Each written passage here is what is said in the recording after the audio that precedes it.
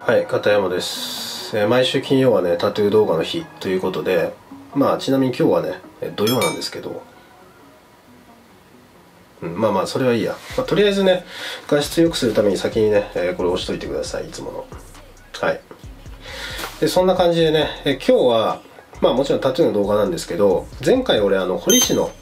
動画の紹介したと思うんですけど、まあ、それのね、えーパート2ということで早速やっちゃおうかなと。まあ実は結構好評で、まあそこでね、えー紹介した堀市の人に予約取りましたっていう人がいたりとか結構まさか片山広告効果あるんかみたいな、うん、片山式広告効果多分あると思うんでまあ僕もねやっぱ好きな堀市さんとかまだ紹介したい人っていうのがまだまだいるんで今日はちょっと今日はね5人。に絞って、えー堀市さん紹介したいと思います前回6人だったんですけどあのそれ見てない人はねこれ見終わった後に前回の動画を見てみてはいかがでしょうかということでね独断と偏見で片山の好きな堀市さんの、えー紹介していきたいと思いますはい、じゃあ早速ね、一人目の紹介していきたいと思います。えーまず一人目の、え堀市さんはこの方です。はい。え堀ベニーさんです。この方はですね、まあ、インベージョンクラブっていうタトゥースタジオを自分でオーナーでやってるんですけど、アニメとオタクに特化した、えータトゥーアーティストです。うん。だから多分相当好きなんでしょうね、アニメと。えーオタクっていうその日本の文化がめちゃめちゃ好きなアーティストでで実はこの方ね日本人じゃなくて、えーアメリカ人なのかな外人さんなんですよまあそれで大阪で活動しているともちろん日本語もペラペラでで、まあ、実はですね、まあ、片山も、えー足に、えードラゴンボールのね、えースーパーサイヤ人4のゴジータが入ってるんですけど実はこれも、えー、堀紅さんのタトゥーではないです。はい。これはね、あの、前回紹介した京平さんに彫ってもらったものなんですけど、やっぱ僕もね、今ドラゴンボールめちゃめちゃ好きで、まあ、右足は全部ね、あの、ドラゴンボールにしようと思ってるぐらい、やっぱアニメってやっぱ好きなんで、まあ、それに本当に特化してる、えー堀さんです。やっぱ作品も見てても分かる通り、まあ、色使いがマジでやばいっていうか、まあ、この色使いは、まあ堀のね技術とかはね僕は素人なんで分かんないですけどアニメ好きじゃなきゃこんなの絶対無理だろっていう、うん、やっぱ本当に好きなものっていうのをもう本当に形にしてる人なんだって。やっぱり海外とかでもねやっぱ日本のアニメ文化はねもう世界一じゃないかなって思うんで やっぱそこに特化してやられてて。もう好きなのが伝わってきますよね。このアニメとオタクが自分は好きなんだっていうのが。やっぱね俺好きなものがある人ってやっぱめっちゃそこに反応しちゃうっていうかなんか好きなことをこうもう一直線でやってる人ってやっぱり好き嫌いがこう分かれるんですけどもうそんなの関係なしに、まあ、俺は好きなものやるんだっていうね。めちゃめちゃかっこいいなっていうかそのなんかマインドがかっこいいなっていうかうん。なんで、紹介しました。なのでね、まあ、この堀市さんはね大阪なんですけどぜひね、まあ、こういうアニメタトゥーとか、まあ、そういうのに興味があるって人は、まあ下にねあのインスタ、あのー貼っとくんでぜひチェックしてみてはいかがでしょうか。次の堀市さんはこの方です。はい。え大阪のスリータイズタトゥーの、えナミさんです。はい。まあ、この方はまあ大堀の堀市さんだと思うんですけど、まあ、実はね僕の知り合いが彫ってもらったことあって、まあ、それでね、えーこれ誰に彫ってもらったのって言ったらナミさんっていうんで、まあ、それで知ったんですけどめちゃめちゃうまいっていうかうん。めちゃめちゃかっこいいんですよ作品が、まあ、描いてる絵とかもそうなんですけど多分得意なのはえ唐獅子っていう、まあ、中国の神獣ですね。要はまあ存在しない獣ですけど、まあ、神って言われてる獣、まあ、大体ね唐獅子調べると絶対ナミさんが出てくるっていう。うん。で俺一回ねその自分掘ってもらってる堀市さんに「えナミさんってうまいんですか?」って聞いたら「えめちゃめちゃうまいですよ」っていうふうにやっぱ言ってたんでやっぱ片山の見る目がやっぱすごいなっていうか、うん、そこかいって感じだと思うんですけど、うんまあ、とりあえず作品がもうとりあえずかっこいいですよね。で、まあ、僕の知り合い曰くタトゥーがめちゃくちゃ早いらしいです、うん、めちゃくちゃ早い上に綺麗っていう、うん、そしてかっこいいっていう。まあ、まさにミスターパーフェクトというか、まあ、そんな感じの堀市さんがナミさんだと思います、まあ、あとはねあのスリータイズタトゥーって僕結構あの靴下買ったりだとか あとスウェット買ったりだとかあの東京のね、えー、原宿にもお店あるんですけど、まあ、東京と大阪に、えー、お店があるって感じで結構ね有名なアーティストの方もねたくさん所属しているのでよかったらチェックしてみてはいかがでしょうか。次の堀市さんはこの方です。はい。えー、東京の立川でね、えー、堀市をやられているソースさんです。まあネオトラディショナルっていうジャンルが得意で好きみたいなんですけど俺ね一番最初この人知った時俺最初ネオトラディショナルっていうのを検索してた時期があって で調べてたんですけど俺最初ね外人かなと思ったんですよこの人。見てたらまあ日本人でえ？って思ってそんぐらいびっくりしたっていうかやっぱ俺は結構その海外のアーティスト見ること多くてやっぱなんで海外のアーティスト見るかっていうとやっぱタトゥーのレベル高いんですよねやっぱり。まあ技術っていう細かい技術は分かんないですけどもうあっかにもう素人から見てもまあもうこれうまいだろうっていうのが分かるっていうか。だから海外のアーティストを結構よく見るんですけど俺最初本当にねえこれ日本人なのっていうのをまず驚いたっていうかまあそんぐらい、まあ、上手だと思います片山は。でやっぱ堀さんの中でも結構うまいでかなり有名らしくてネオトラディショナルとかねそういうジャンルを掘りたい人は、まあ、ぜひね掘ってみてもらってはいかがでしょうかっていうぐらいまあ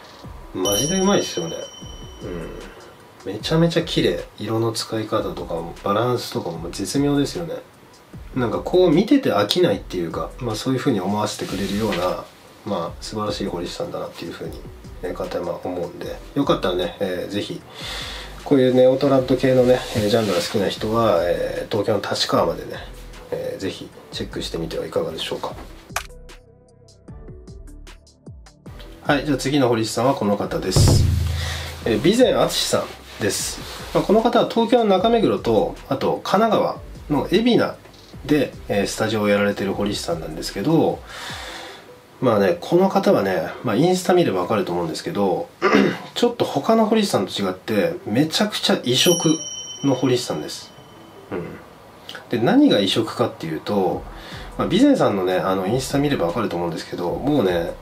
タトゥーってアンダーグラウンドじゃないですか基本的に。日本だと全然ポピュラーじゃないしやっぱり着られるしタトゥーって。でも備前さんのインスタ見るとなんか全然ねアングラな感じがしないんですよ全く。なんか可愛い女の子がめちゃめちゃ写ったりとか。なんかだから異色だなっていうか。それがなぜそう見えるのかっていうとビジネスさんは知り合いにこう著名人の方がたくさんいてで著名人の方に結構あの入れ墨を掘られてる方なんですね、まあ、例えば、まあ、この間問題になりましたけど、えボクシングの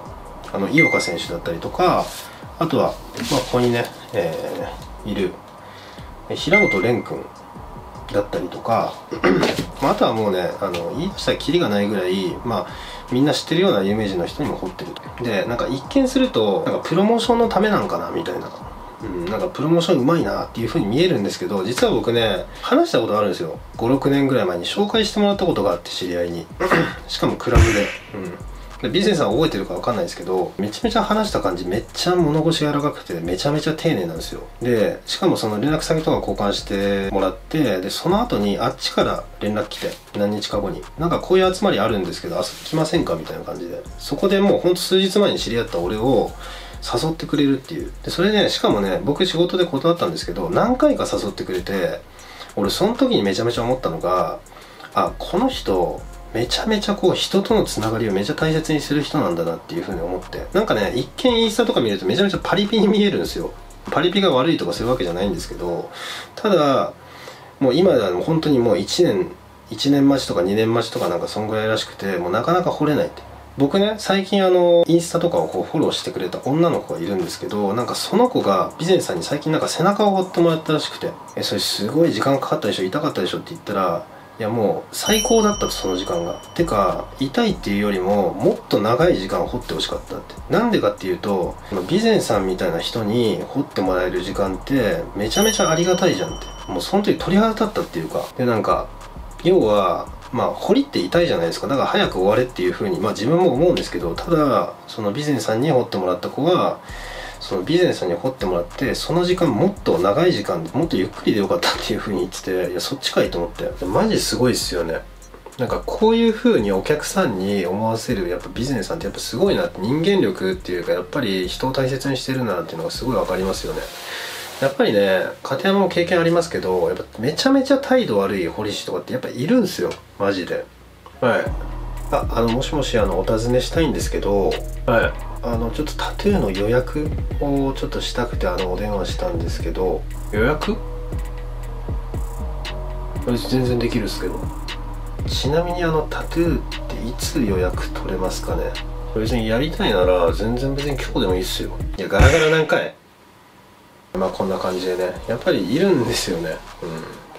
やっぱタトゥーで彫り師でやっぱアーティストって言ってもやっぱ一接客業なんでやっぱりこうねあの相手にしてる人をこう不快にさせたりとかそういうのはあんまり自分も良くないと思ってて やっぱり自分も彫り師選ぶ基準っていうのはやっぱ人間がいいとかやっぱ丁寧だとか親身になってくれるとか、まあ、そういうとこも選んでるんで、まあ、そういうのはね本当にあのビジネスはめちゃめちゃあの丁寧でしっかりしててあのお客さんにこういうふうに言わせると本当すごい人だなって思いますし、まあ、だからこそその噂が広まって、まあ、自分も掘ってくださいこうしてくださいっていうのがなるのかなって。でもちろんねちょっと彫りの話全然してないですけどもちろんタトゥーもめちゃめちゃうまいんですよ、うん、まあリアリスティック系からまあ細かい本当に線の細かいやつだったりとか、まあ、和彫りとかもそうですしもうねとりあえず本当に今一番勢いに乗ってる堀師さんかなっていうふうに思います。であとはまあ備前さん自体なんか 焼肉屋さんとあと原宿にカレーラーメンっていうのもやってるみたいなんでそちらリンク貼っときますけどそちらもねぜひ行ってみてはいかがでしょうか。最後の堀師さんはこの方です。はい。やべえじゃんさんです、うん。まず名前がやべえじゃんっていうね、うん、それはまあいいいいんですけどそういう冗談は。まあ